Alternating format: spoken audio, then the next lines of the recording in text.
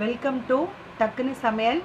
இன்றைக்கி நம்ம சமையல் எதுவும் பார்க்க போகிறதில்ல சோப் எப்படி பண்ணலாம்? வீட்லேயே நம்ம சோப் எப்படி பண்ணலான்னு சொல்லி தான் பார்க்க போகிறோம் சம்மரில் சன்பர்ன் இதெல்லாம் ரொம்ப ஜாஸ்தியாக இருக்கும்.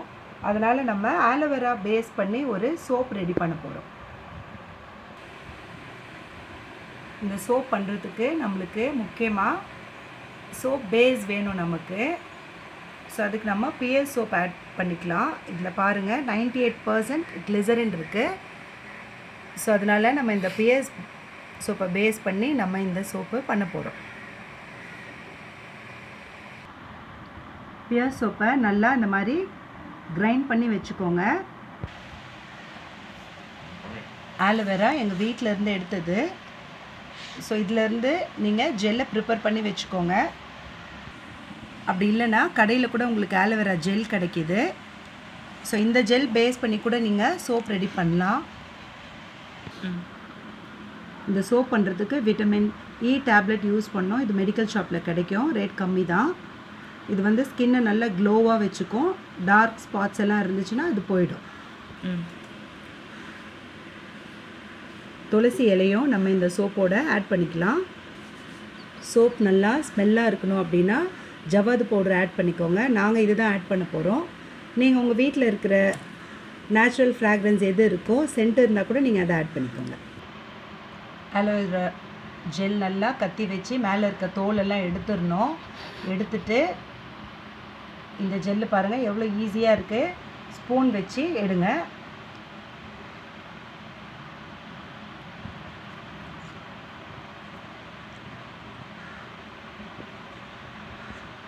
எவ்வளோ நல்லா வருது பாருங்கள் ஸ்பூன் வச்சு நல்லா க்ளீனாக ஜெல்லெல்லாம் எடுத்துக்கோங்க.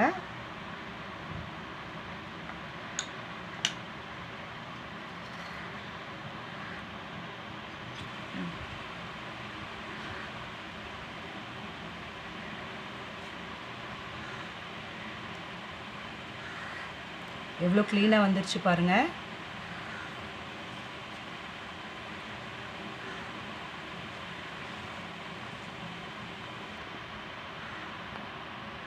உங்களுக்கு கத்தியில் எடுக்கிறதுக்கு கஷ்டமாக இருக்கும். அதனால் இந்த ஸ்பூன் யூஸ் பண்ணிக்கோங்க. முக்கியமாக ஆலோவேராவில் எதுக்கு நாங்கள் சோப் பண்ணுறோம் அப்படின்னா ஸ்கின்னில் இருக்க பிம்பிள்ஸ் சுருக்கம் இதெல்லாம் போயிடும். அதனால தான் நாங்கள் ஆலோவேரா பேஸ் பண்ணி பண்ணுறோம் ஏற்கனவே நாங்கள் பண்ணியிருக்கோம். ஹெர்பல் சோப்பும் பண்ணியிருக்கோம். ரோஸ் யூஸ் பண்ணியும் சோப் பண்ணியிருக்கோம். இன்றைக்கி ஆலோவேரா சோப் ரெடி பண்ணுறோம் இதோட ரிசல்ட் எப்படி இருக்குன்ட்டு பார்க்கலாம். ஆலோவேரா ஜெல்லை நல்லா மிக்சியில் போட்டு பிளெண்ட் பண்ணிக்கணும்.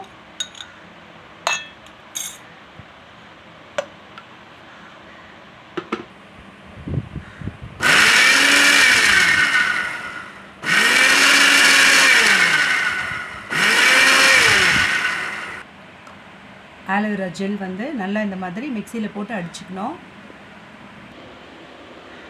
இந்த சோப் நம்ம டபுள் பாயிலிங் மெத்தடில் தான் டைல்யூட் பண்ணணும். ஃபஸ்ட்டு சுடு தண்ணியில் அந்த பாத்திரம் வச்சிடலாம். அதில் நம்ம கிரைண்ட் பண்ணி வச்சுருந்த இந்த சோப்பை ஆட் பண்ணிக்கலாம்.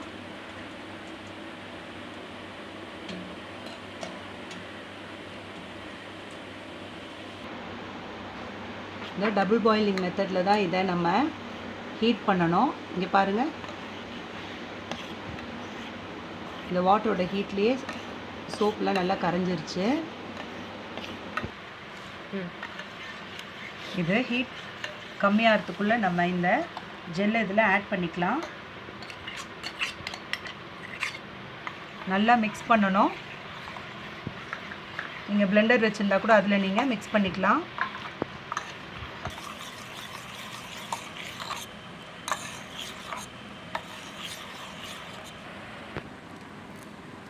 இதில் துளசியை நம்ம சின்னதாக கட் பண்ணி அந்த சோப் எதில் செய்ய போகிறோமோ அந்த பாக்ஸில் நம்ம கொஞ்சம் போட்டுக்கலாம்.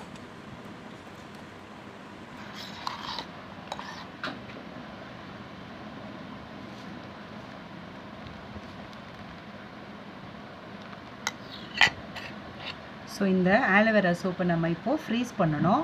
ஒன் டு டூ ஹவர் வந்து ஃப்ரீஸ் பண்ணி எடுத்தோன்னா நமக்கு சோப் ரெடி ஆகிடும் இப்போ நெக்ஸ்ட்டு நம்ம இது கூடவே முல்தானி மெட்டி ஆட் பண்ணி எப்படி பண்ணுறதுன்றதையும் பார்க்கலாம். நெக்ஸ்ட்டு குக்கும்பர் இருக்குது குக்கும்பர் ஆட் பண்ணி கூட நீங்கள் சோப் ரெடி பண்ணலாம். நேச்சுரலாக இருக்கும். இது ரொம்ப கோல்டாக இருக்கும் நமக்கு. ஸ்கின்னுக்கும் நல்ல க்ளோவாக இருக்கும். குக்கும்பர் ஆட் பண்ணி கூட நீங்கள் சோப் பண்ணலாம். இது பாருங்கள் இதையும் வந்து நீங்கள் கிரைண்ட் பண்ணி அந்த சோப் பேஸில் மிக்ஸ் பண்ணிக்கணும். சரிங்களா அது? இதில் நீங்கள் முல்தானி மெட்ரி பவுடர் ஆட் பண்ணிக்கணும். நல்லா மிக்ஸ் பண்ணிக்கணும்.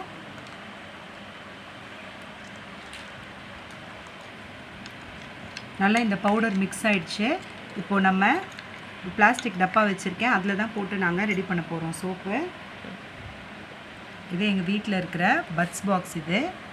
இதில் வந்து கொஞ்சம் துளசி போட்டிருக்கோம். இப்போ நம்ம இதை இதில் ஆட் பண்ணிக்கலாம்.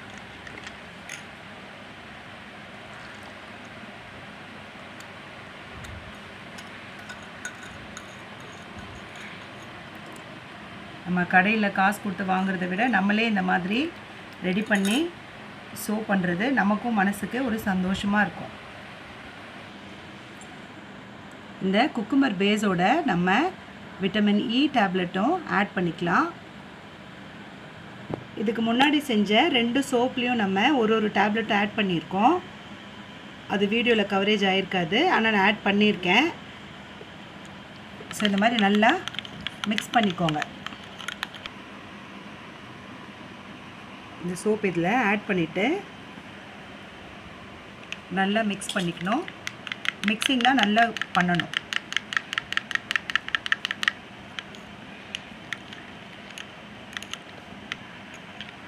ஆலோவேரா சோப் ரெடி பண்ணியிருக்கோம். முல்தானி மெட்டி சோப். அதுக்கப்புறம் இப்போது குக்குமர் சோப் ரெடி பண்ணியிருக்கோம். நேச்சுரலாகவே நம்ம சோப் ரெடி பண்ணி வீட்டில் யூஸ் பண்ணோன்னா பிம்பிள்ஸ் டார்க் ஸ்பாட்ஸ் இதெல்லாம் எதுவுமே நம்மளுக்கு வராது. தைரியமாக இது நம்ம சின்ன குழந்தைங்களுக்கு கூட இந்த சோப் நம்ம யூஸ் பண்ணலாம். இது வீட்டில் இருந்த பிளாஸ்டிக் பாக்ஸு எங்கள் பாப்பாவோட சொப்பு இது. அதில் தான் ரெடி பண்ணுறோம் அதே மாதிரி உங்கள் வீட்டில் என்ன திங்ஸ் இருக்கோ ஆனால் பிளாஸ்டிக்கில் ஊற்றுங்க அப்போ தான் ஈஸியாக வரும். ஸ்டீலில் போட்டிங்கன்னா கொஞ்சம் எடுக்க கஷ்டமாக இருக்கும். ஸோ இதை நம்ம ஃப்ரீஸ் பண்ணிடணும். நல்லா ஒன் டு டூ ஹவர் நல்லா ஃப்ரீஸ் பண்ணிட்டீங்கன்னா சோப் ரெடி ஆகிடும் இந்த மாதிரி பிளாஸ்டிக் பாக்ஸில் நீங்கள் வேஸ்லின் இல்லாட்டி தேங்காய் எண்ணெயை வந்து நல்லா அந்த பேஸில் வந்து நல்லா அப்ளை பண்ணிடணும். இப்போ இதை நாங்கள் ஃப்ரீஸ் பண்ண போகிறோம் சோப் ரெடி ஆனதுக்கப்புறம் நீங்கள் பாருங்கள் மேலே வேற ஜெல் போட்டு ரெடி பண்ண சோப்பு அதை பாருங்கள் எவ்வளோ அழகாக ரெடி ஆயிருக்கு.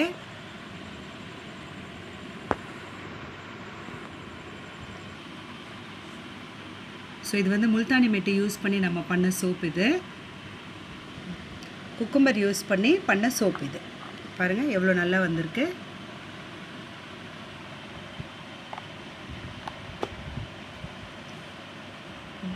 இந்த சோப் வந்து நாங்கள் ஃபஸ்ட்டு ட்ரை பண்ணோம். நீம் யூஸ் பண்ணி நீம் லீஃப் எடுத்து கிரைண்ட் பண்ணிவிட்டு இந்த சோப் பேஸ் போட்டு நாங்கள் ட்ரை பண்ண சோப் இது. நீம் சோப்.